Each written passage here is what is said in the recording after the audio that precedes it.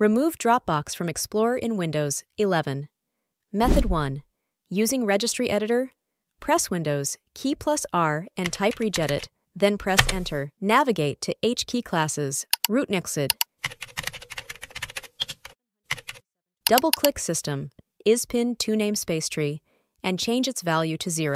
Right-click and select Permissions. Add Everyone and deny Set Value Permission. Save and restart your computer. Method 2. Using a batch file, download the batch file. Open it with 7-Zip File Manager. Double-click, remove Dropbox from navigation pane. CMD. Method 3. Uninstall Dropbox, click Start, then Settings, and choose Apps. Find Dropbox, click the three dots, and select Uninstall. Or download and install Revo Uninstaller Pro. Launch it, find Dropbox, and choose Uninstall.